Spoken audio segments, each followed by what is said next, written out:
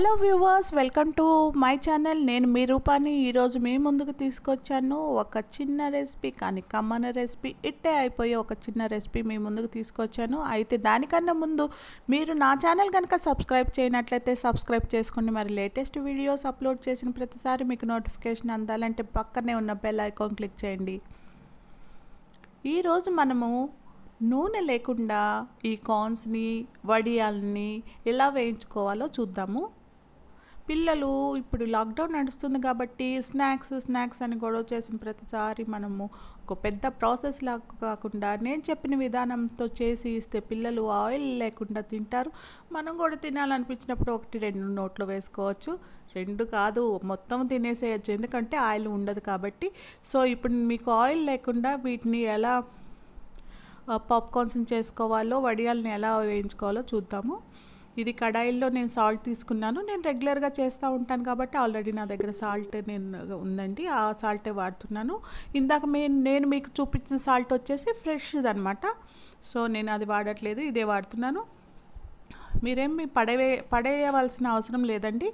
దీన్ని మీరు తీసి అట్టు పెట్టుకోవచ్చు. ఎప్పుడు వడియాలు కావాలంటే అప్పుడు మీరు దీంట్లో వేయించేసుకోవచ్చు.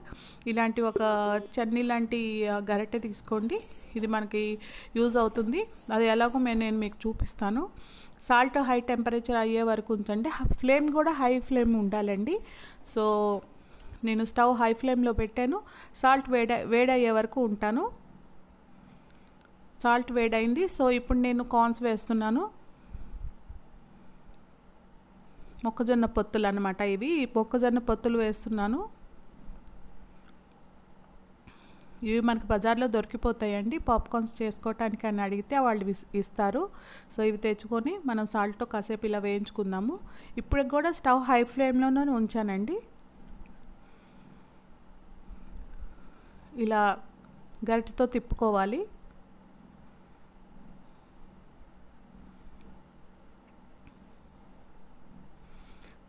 ఇప్పుడు ఒక ప్లేట్ పక్కన రెడీగా ఉంచుకోవాలండి. మీ పాప్ మీ పాప్కార్న్స్ గుణం తెలిసిందే కదా అవి పాపప్ అయ్యి బయటకు పడుతూ ఉంటాయి. సో ఒక పాయింట్ ఆఫ్ టైంలో మనం ప్లేట్ పెట్టవలసిన అవసరం ఉంటుంది. అది ఎప్పుడో మీకు చూపిస్తాను. చూడండి కార్న్స్ పాపప్ అవుతున్నాయి. చూడండి ఈ టైంలో మనం ప్లేట్ పెట్టుకోవాల్సిన అవసరం ఉంటుంది. సో నేను ఒకసారి అట్లా ఇలా తిప్పేసేసి ప్లేట్ పెట్టుకుంటాను. ఎందుకంటే అవి చింది పైన బయట పడతాయి. మనం ఎంత ట్రై చేసినా అవి పడతాయి కాబట్టి పర్వాలేదు. పిల్లల కోసం ఆ మాత్రం చాకెట్ నేను చేస్తాను పర్వాలేదు. తర్వాత క్లీన్ చేసుకుంటాను. మధ్యలో ఒకసారి నీకు నేను మీకు ప్లేట్ తీసి చూపిస్తాను. ఇదిగో చూసారా? మెల్లమెల్లగా పాపప్ అవుతున్నాయి. Without oil. Healthy food healthy snacks. చూడండి సాల్ట్ ఎలా పడిందో చూసారా? పర్వాలేదు పిల్లల కోసం నేను చేయగలుగుతున్నాను. ఇప్పుడు మీకు వడియాలు కూడా వేసి చూపిస్తాను. ఇవైతే ఎక్కువ టైం పట్టమండి మీ కళ్ళ ముందే వేగిపోతున్నాయి చూడండి.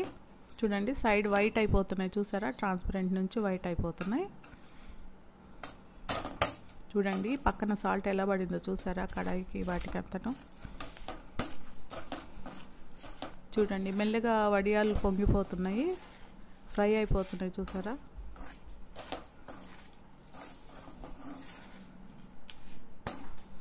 త్వరగా అయిపోవటానికి నేను చిన్న చిన్న ముక్కలు వేసాను పెద్దవి వేసుకొని జాగ్రత్తగా చేసుకోండి మీరు.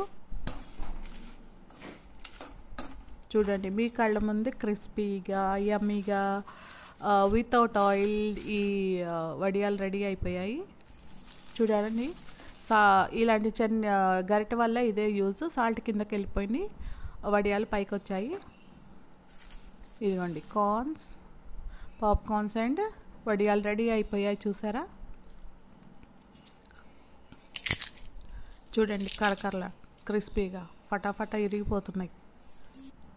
చాలా బాగుంటుందండి మనం ఆయిల్ లేకుండా వండుకుంటే. శుభ్రంగా తినేసేయచ్చు ఆయిల్ లేదు కాబట్టి ఈ ఈ వీడియో మీకు నచ్చిందని ఆశిస్తున్నాను. Thank you very much bye